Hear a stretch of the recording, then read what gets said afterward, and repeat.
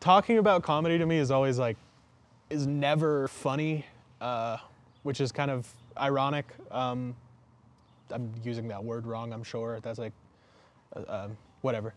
Being anxious and being very in my own head, it also means I'm like very uh, insecure, and I have a lot of like you know insecurities just rampant in my in my head.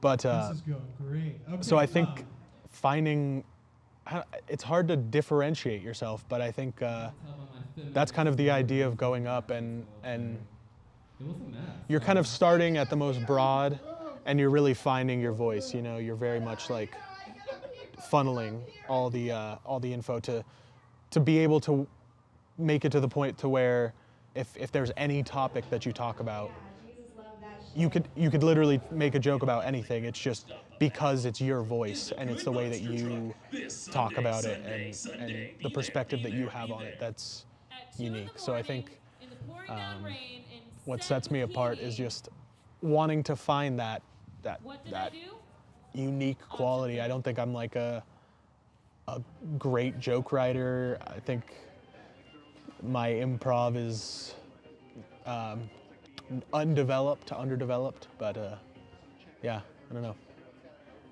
Definitely trying to set myself apart, but just I don't know how.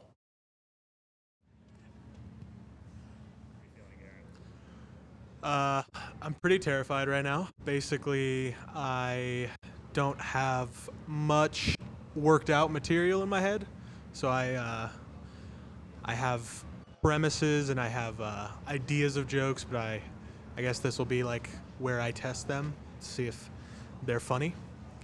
Um, yeah, right now I'm just kind of kind of nervous. Well, um, I definitely feel like uh, performing made me um,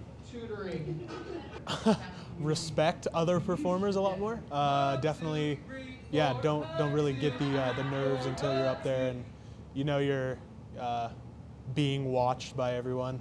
Uh, I think it was a, a little bit of a tough tough audience. Like they weren't responding too much, but I also you know know that I was Uh, kind of late in the Yeah.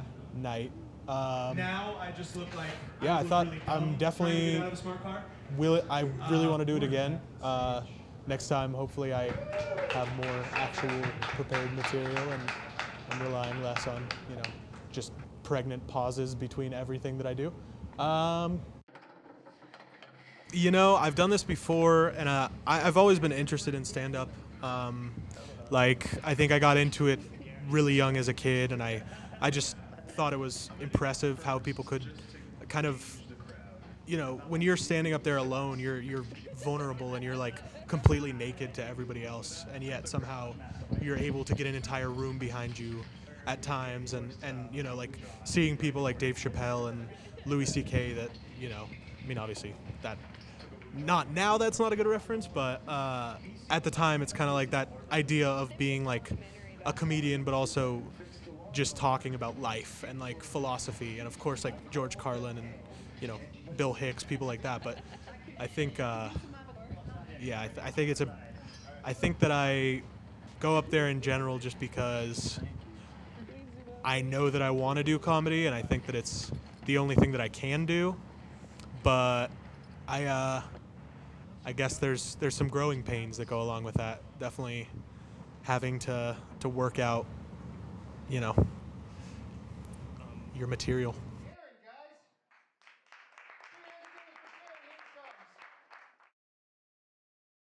Felt like last time went pretty well, and I'm uh, excited to, or decent and not terribly, so I didn't bomb. Uh, so yeah, I'm ready to give it another shot.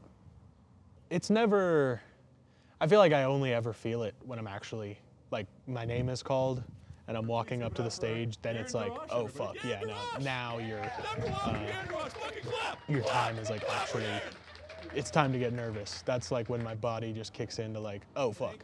Uh, but yeah, no, as- I would say for the most part, I'm just kind of, I was writing stuff down throughout the week. Um, again, I'm, I'm definitely liking how this is making me Uh, think about comedy more and just kind of like uh, I just always have it on my in a movie. mind, which is Uh, I think exactly what I needed in terms of looking for just a uh, role. writing. And normally it's flattering to get uh, cast in a movie, but I got cast as the voice of a school shooter. So I don't really know what that says about me. I don't know. If Uh, I plan on hopefully using the full time. Uh, last time I probably had like maybe 30 seconds to a minute. Uh, I, I know I'm not trying to go up there and like, you know, it's not a, a special. The people, um, I'm just trying to try some things out, see what the reaction is, and, and kind of develop an idea of like what what's working, what my style is, and like you know, figure out all the aspects of what I'm doing up there. Okay. Um, uh, here's my impression of a Southern judge using the Hawaiian Disney movie defense. Your Honor, lest we forget about Moana.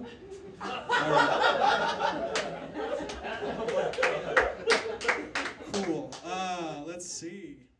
To be honest, I think one of the one of the hardest parts about open mics is is you can't put that much weight on the result of any of them because if I were to go tonight and have and just bomb, which is a possibility, then like all I can think is just go again. Because if I if I let that stop me, then that's like then I'm done. And that's not, you know, no matter what, you need to go through those years of um, like strife and struggle and scraping by just to just to respect that. But if you don't even start that then you're never never going to be able to make that. So make it in the industry. Yeah. I hope i i hope i don't bomb but if i do i'm not too worried i guess